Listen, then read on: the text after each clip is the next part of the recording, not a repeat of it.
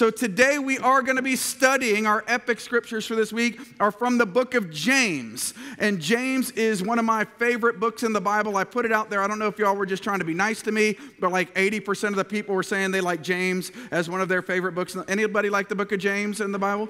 Some of you are like, who's that James dude? Would you tell me a little bit more about him? I'll tell you just a little bit more about him. Why did I start to get an affinity towards the book of James? Um, it actually has to do with my sobriety.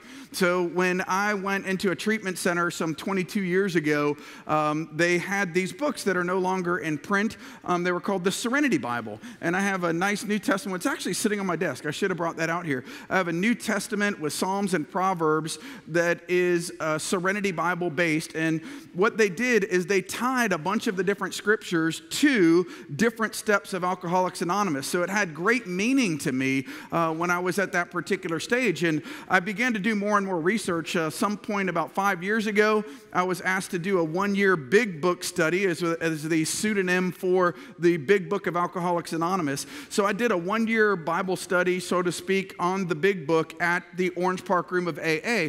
And I started diving really deep into it, and I got blessed. They had just put out in print the original manuscript that you could buy a copy of, of the original big book of AA. And then I started reading more and more about the origins of it. And as it turns out, much of it was actually founded from the book of James.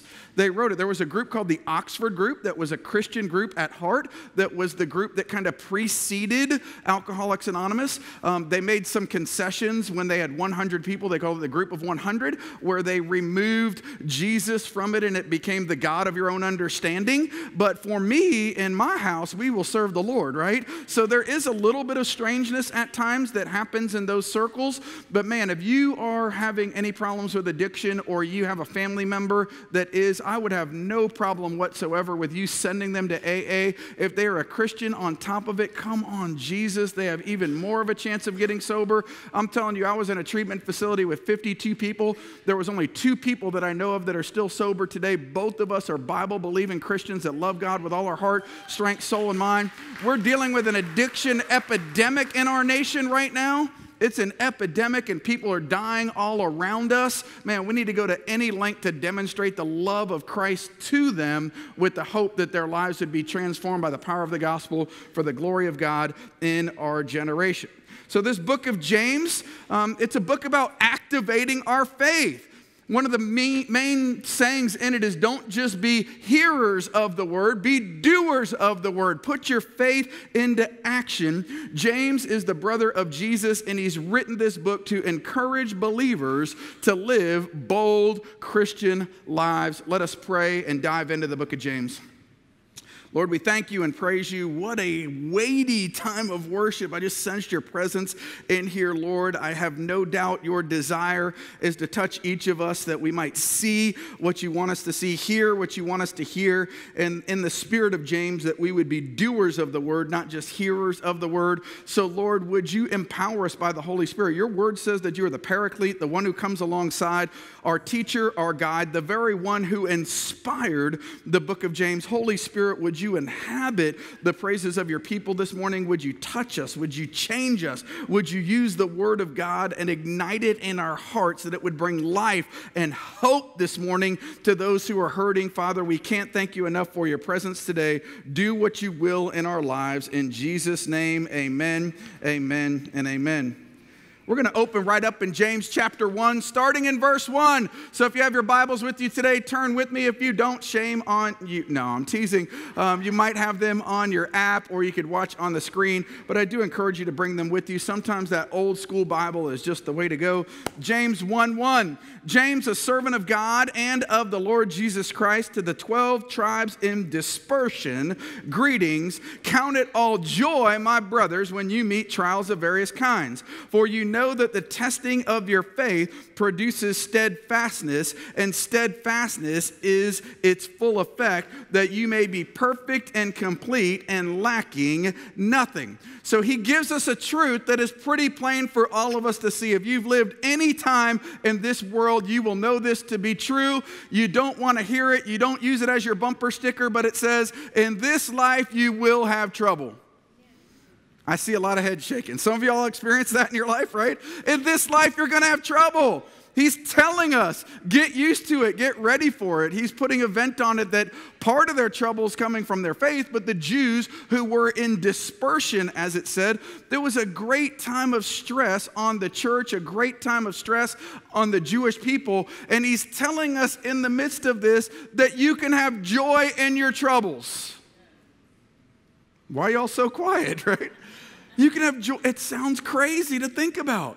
But God can do something different in the lives of believers where we could have joy in the midst of some of the most difficult circumstances in life. So I have found that truth to be constant that in this life you'll have trouble. It seems like you get through one thing and you have a mountaintop experience, and then all of a sudden there's trouble around the corner, right? So, what should we do? We should come to expect it, right? We should come to know that, hey, the devil's gonna try to put some landmines in our path that are gonna try to keep us off our track. But if we know this is the case, then guess what? We could be prepared for it. We could be ready to overcome in the midst of it. Can I get an amen? amen. I can go back to my addiction. The time was 1996, seemingly the worst time in my life. No doubt I was about to lose my family. We were broke. I was busted. I wasn't repentant initially. I got busted doing drugs. So I wasn't all that happy about it. I wanted to continue to use. I was given very little alternatives other than going into an addiction treatment facility, which thank God I chose to go into at that time because God was working on my heart and I was at the, one of the lowest places in my life. And when I got there, there I started to read some things that talked about the fact that one day you won't regret the fact that you're an addict. I was like, how is that possible? It brought nothing to me but pain, nothing to me but horror, almost cost me my marriage, cost me so much in my life. I did so many dumb things. It took me a long time. This is how dumb your pastor was. I, it took me so long to figure out that the only time I ever got arrested, I was drunk or high. Come on, Jesus. If I don't get drunk or high, guess what? I don't get arrested. Hallelujah, right? I mean, these were some kind of crazy revelations at that particular stage of my life, right? That I don't want to go back to. But miracles began to happen as I began to get sober, as I began to read the Word of God and open up that Serenity Bible. And I was there looking at it and I was learning about this sin slash disease that I had that was in control of my life. But I got hope from the words of James and from the other sections of Scripture that gave me hope that I didn't have to live that way any longer. And all of a sudden, day by day, little by little, things began to change. And it didn't happen overnight. For those of you who are trapped in any kind of sin, if you're trying to come out of that, say it's a spousal relationship and you've had some issues and challenges in your relationship because of whatever sin you're involved in, don't think that it's going to be all fixed in one day. It's not going to happen. It took me many years to get to the place where it was that damaged. It was going to take some time for things to be made right, but thankfully, God had planted something in Mary Jo's heart where she loved him and she loved me with all her heart, and she stuck with me and she was there by me and she helped me in the midst of those difficult times in my life. Amen. Give her, you know, 30 plus years of marriage. Thank God. But what I learned is through that, God began to shape my story and it made me the person that I am today. Do I still have issues? All kinds of them. Ask Mary Jo, right? I have all kinds of them. I have tons of issues still. But man, I am a lot different than I was back then.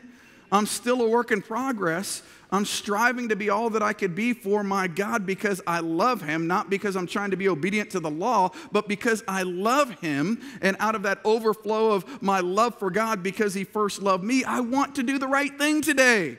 I don't want to go back to those things. I don't want to live that way any longer. And God used my story over and over again to help inspire other people. And it doesn't just have to be through chemical addiction. God will use whatever troubles and trials you have in your life and help you overcome them. And at first, they will seem like some of the worst things in your life. And before you know it, that test will become part of your testimony. And God will use that to help make a difference in the lives of others. Would you get ready to have that happen in your life as well.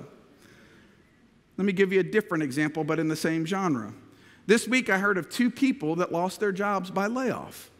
You know, at first you might think, man, you know, if you're an unbeliever and you get laid off, it might be like one of the worst days in your life. Many of us in this room have experienced that at some point in our life, and it seems like a very difficult thing. At first, I laughed because um, Pastor Brinson started posting things about promotion online. And I'm like, you know what? He actually gets it right. He didn't lose his job, but his wife did. He'll, he'll tell you it was something that was publicly out there. It's not a secret. Um, you know, but there's layoffs in various areas, and we experience those different things from time to time, right? So, as a believer, what if you said, in this life we will have trouble, but I trust in my God who is my employer, and maybe he's got a better job for you right around the corner?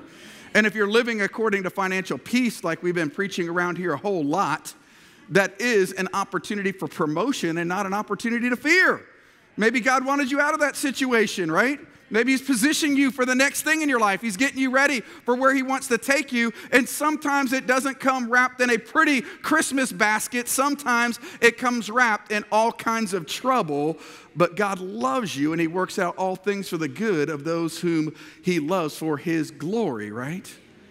God is a good God, but sometimes it comes through these difficult circumstances and then God turns them around. In 2007, in the very early part of 2007, you know, I, I, I was what I perceived to be fairly unjustly let go of a job.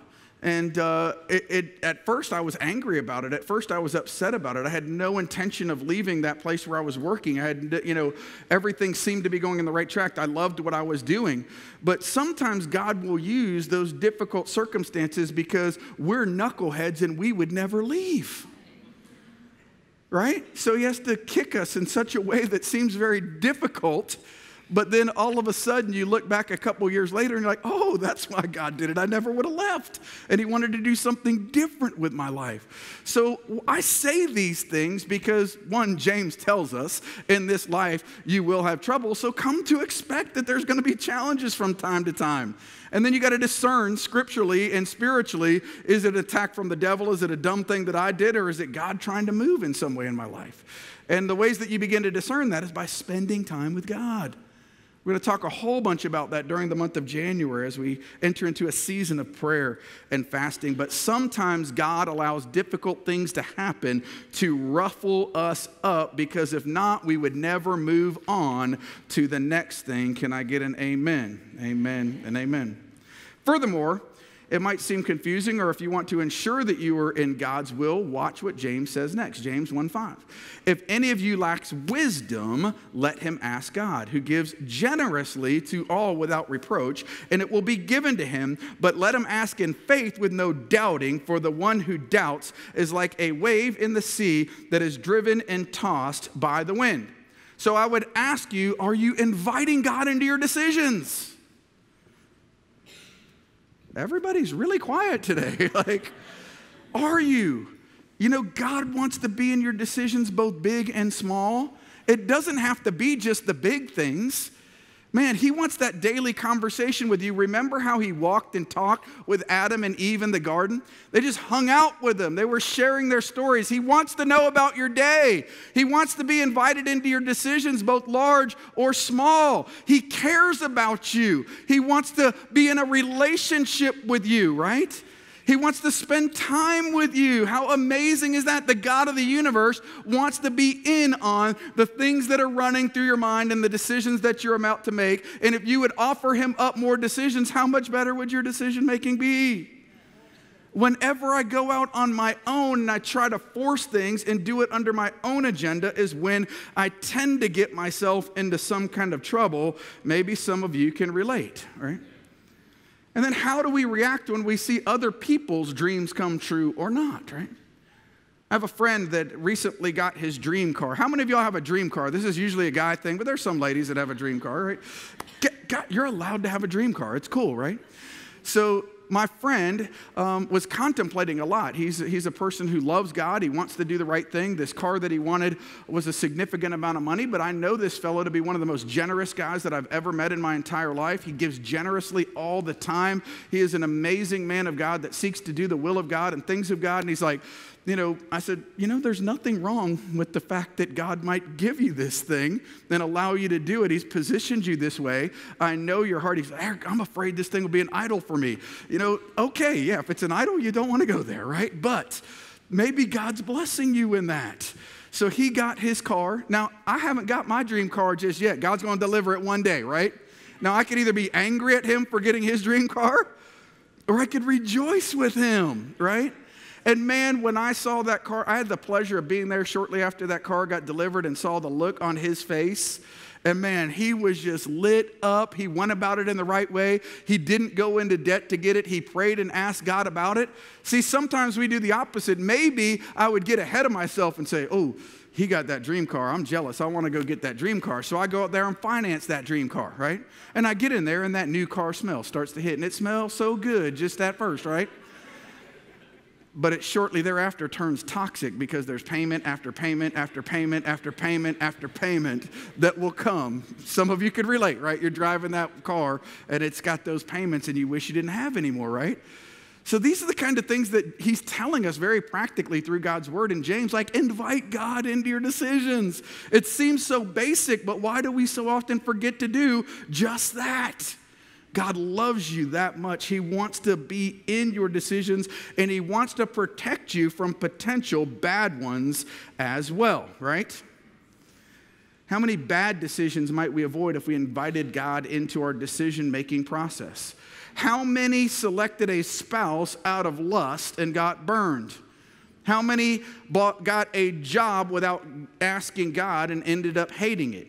How many bought that car and they shouldn't have, ignoring the wisdom and counsel of others and God, and now they're suffering under the weight of that decision. We've all done these kinds of things, but James tells us ask in faith, spend time with God. He will guide you, He will direct you, He will give you wisdom in Jesus' name. James 1:19 as you jump down just a little bit.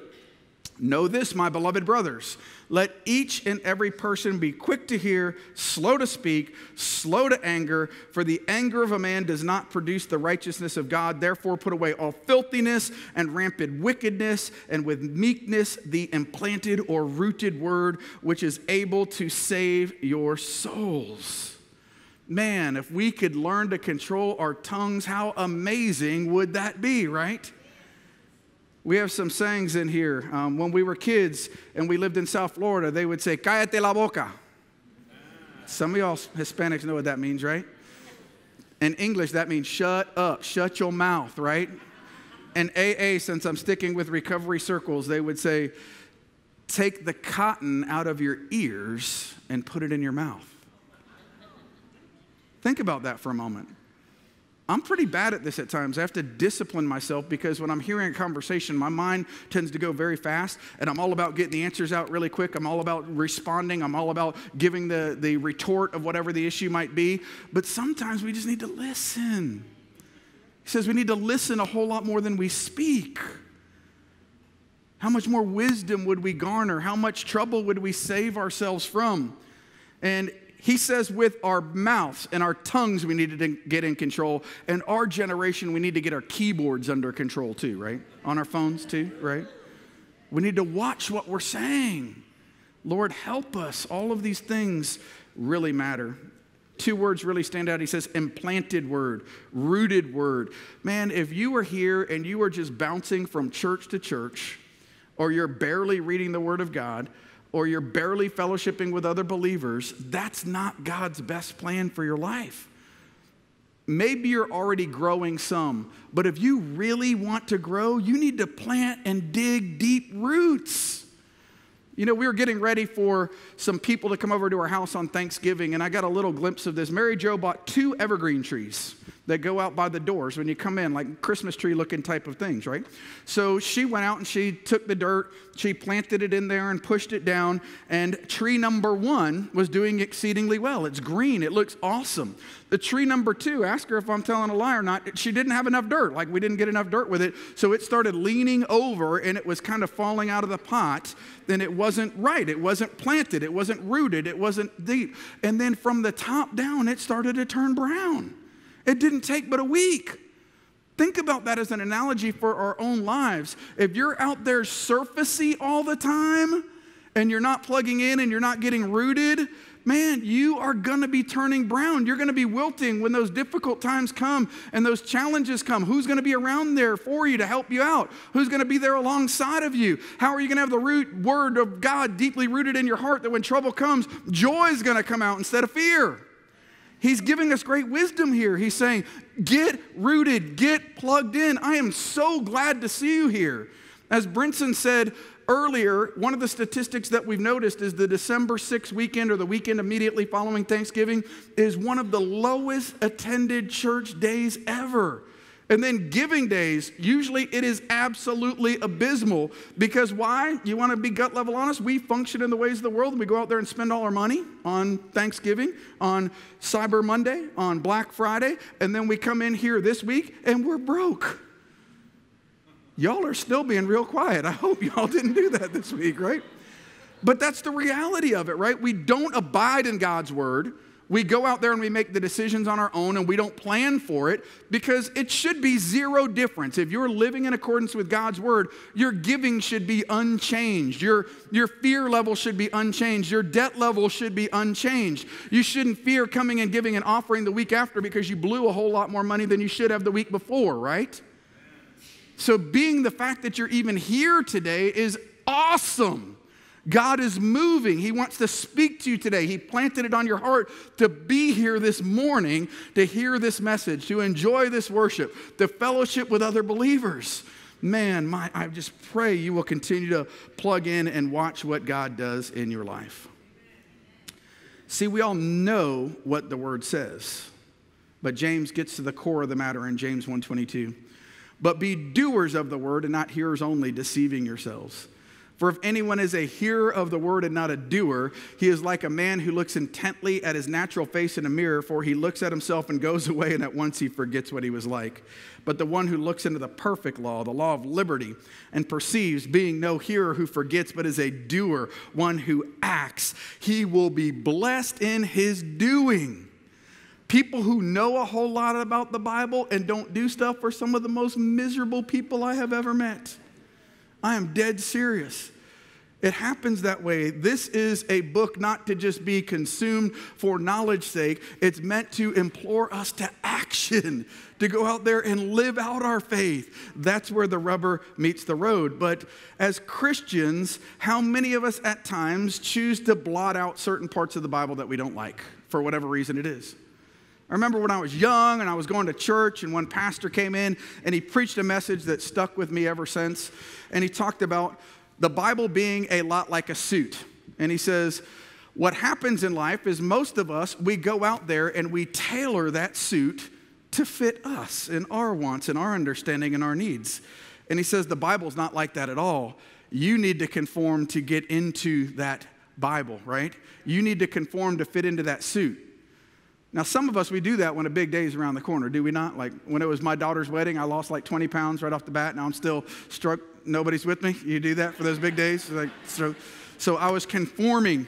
I intentionally bought that pair of pants that was one size smaller than I currently was.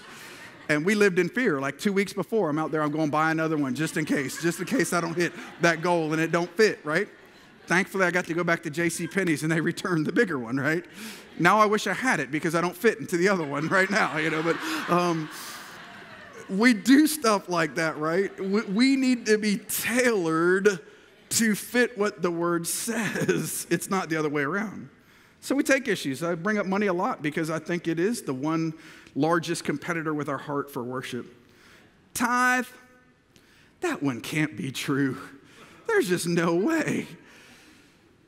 Oh, I'll, I'll, take a marker to that one and blot it out. Not in yellow highlighter, but I'll take the black pen to that particular one. Husband of one wife, not so much, right? Sex before marriage, that can't possibly be true. It feels so good. You mean I'm not supposed to live with somebody else? Let's just get everybody mad here. Come on, Jesus. Let's just get everybody mad here today. You mean I'm not supposed to live with somebody else before I'm married? No, you're not. Why? God, I don't completely understand all of God's reasons, but I trust Him. I love Him. I believe in Him. I know His plans are better than my plans. But no, we could go violate that. Well, nah, that's not what it says. You know, we can conform to it. I mean, the big issue today I saw all over Facebook was um, the Lauren Daigle, I guess, commented on homosexuality on there and did not come out straight up and say that it was against God's word. She's, you know, I guess, dealing with that issue mentally of where she wants to be on that particular position. And I saw a ton of people roasting her. You know, I'm definitely a conservative in those kinds of areas, but I believe we're all born in sin. We all got issues. We all have challenges, and God loves us and He works through us. And I'm not going to tend on the legalistic side of things. I believe God's word to be true, and I think we need to stand on that, but we need to do so in a very loving way, right? We need to do so not in an accepting or condoning way, but we need to be doing it in a loving way. It says, Be angry and sin not.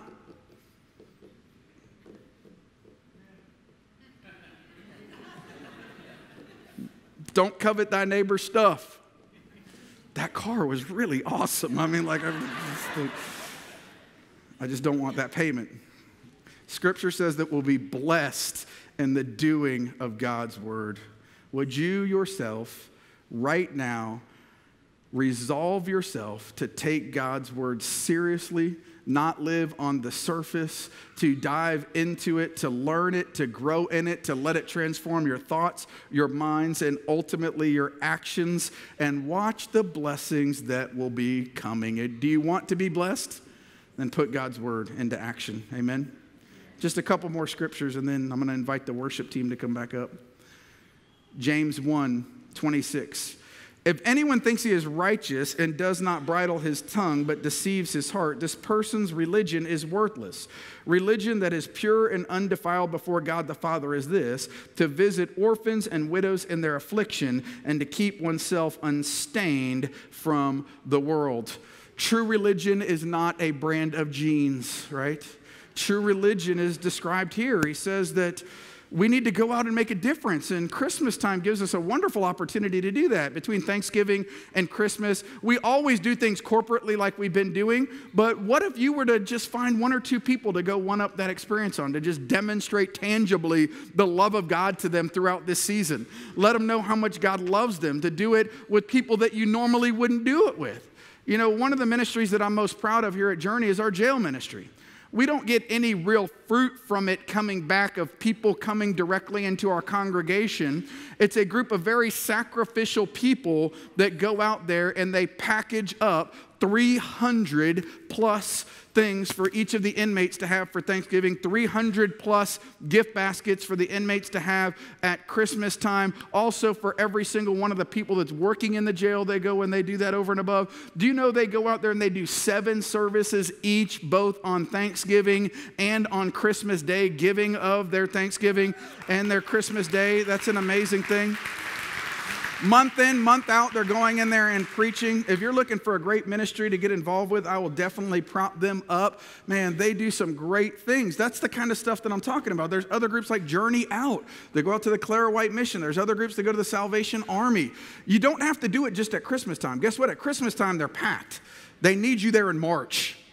They need you there in May. They need you there in July, right?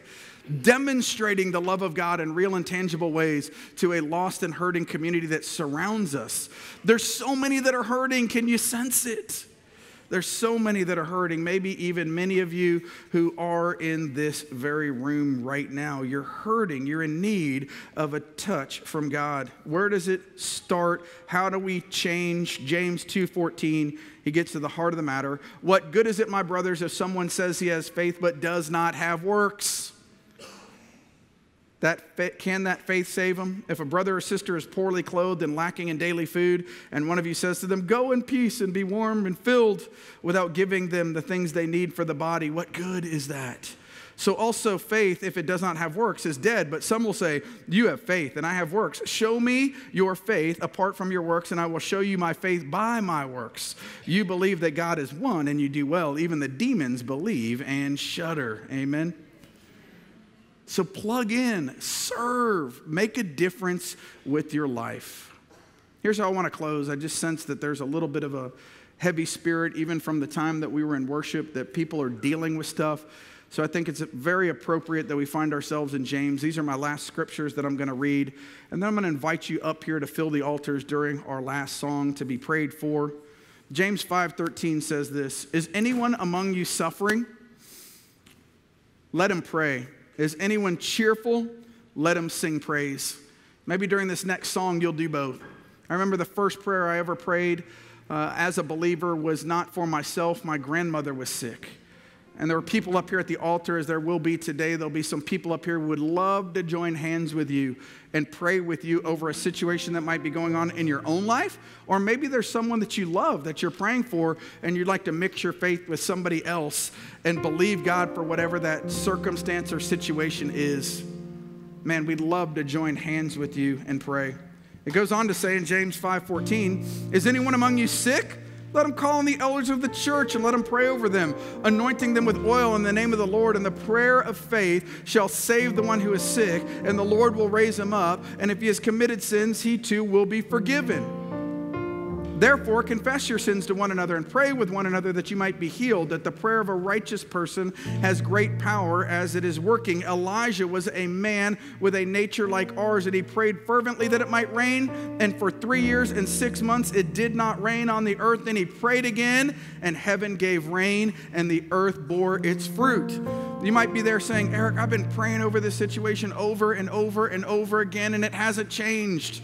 I want to encourage you to keep praying over and over and over again.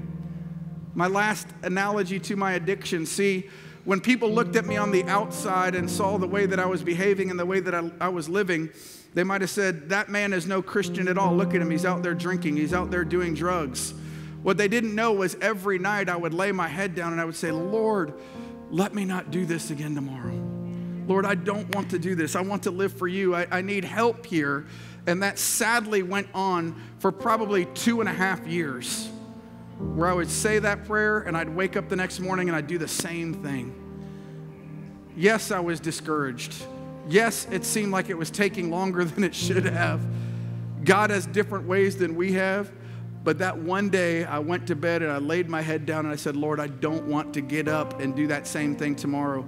Just like that story read, He came through in my life and He removed every obsession that I had to use, every obsession that I had to drink. And from that day forward, from July 23rd of 1996, I've never felt compelled to do that again. Whatever your situation is, it doesn't have to be addiction. Could be sickness, it could be anger, it could be any other sin that you might be dealing with, any other pain that you might be going through, it could be a relational issue. You name it, God wants to hear things both big and small. Nothing's too small. Man, I would love to join hands with you and pray with you, as will some of our other leaders. If you guys can begin to make your way up to the front, I see Don, other elders who might be here, Steph, Mary Joe. We'll be up here at the front, and there's nothing that needs to be embarrassing about this at all. Maybe you've never come to the altar before. I don't want you to be embarrassed about that. I'm not going to turn my microphone on so that everybody can hear. I promise you. Nobody's going to reshare anything that you might share with them. What they want to do is pray for you and activate our faith together and see this come to pass. And what we're going to do is we're going to worship together in song. So if you feel led, you're welcome to come on up. If you want to lean down by yourself, you're welcome to. But today, I would encourage you to join hands with somebody, even if it makes a little bit of a line. That's okay. We would love to join hands with you and pray. If you'd like to take communion by yourself or with your family, there's communion elements both to my left and my right. Reflect on what God has said to you through the word. Let it take root in your life today. Don't leave here the same way that you walked in this morning. Would you rise with me? Let's worship our God and King. I'll end up closing after the song and prayer. But if you need prayer, come on up here to the front.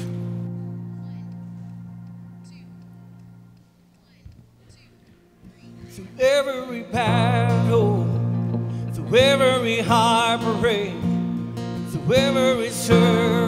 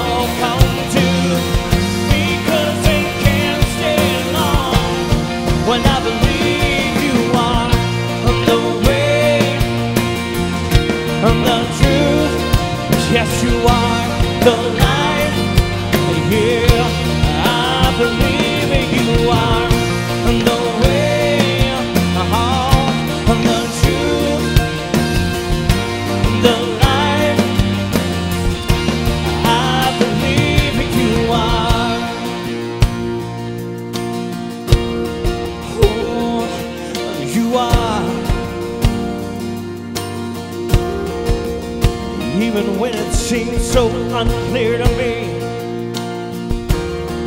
I believe you are. Mhm.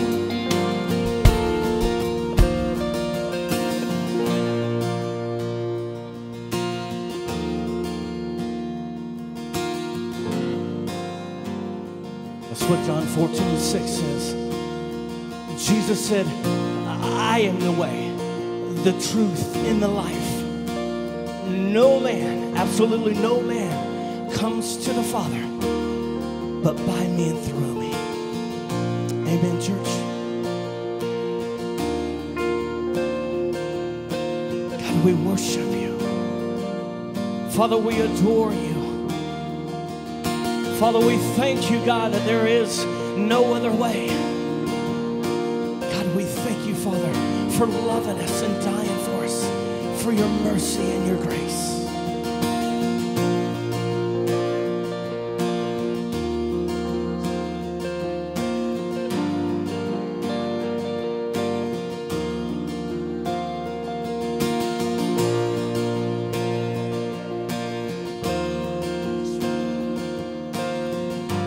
the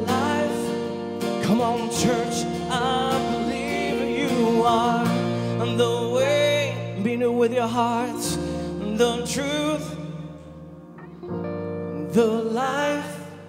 Yeah, let me hear you sing it one more time. The way, the truth. Yes, you are the life. I believe you are. Church, give God a little bit of glory. You would just bow your heads and close your eyes for one moment. I would ask you, with all heads bowed and all eyes closed, you know, maybe you wouldn't call yourself a believer in Jesus Christ, but today you feel Him tugging at your heart.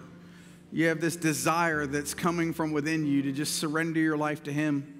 You may be a believer, you're already saved, but you've been going through some struggles, and today's a day you know that you need to rededicate your life to Him. If that's you, I would love to pray for you before you go. So, would you do me a favor? If that's you, would you raise your hand up real high right where you're at and I'll pray for you? I see your hand, sir. Thank you.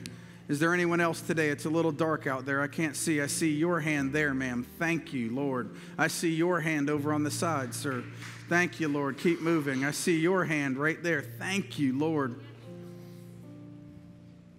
If you raised your hand, I want to encourage you before you leave to come up here to the front. Myself, others will be up here. We'd love to give you some information and help you start off some next steps in your relationship with Christ to help just cement it in, help take it to the next level. So, Father, we come before you today at the close of this service, and our hearts have been warmed by what we've read in the book of James. What a sweet and precious time we had worshiping you in song. I thank you for the impact that you've had on my heart as I was studying it, as I was preaching it. Lord, I feel I've drawn closer to you, and I pray today that people have done the same. That today's message reminded them of your goodness, even in the midst of trouble. When the challenges come, you are still there. You've never left us. You've never forsaken us. You care for us. You're there to guide us and walk us through the struggle. And Lord, we can't thank you enough for that. So, Father, we pray for those in our lives or even for ourselves. If we're the ones that are struggling, Lord, we pray for a breakthrough right now in the name of Jesus.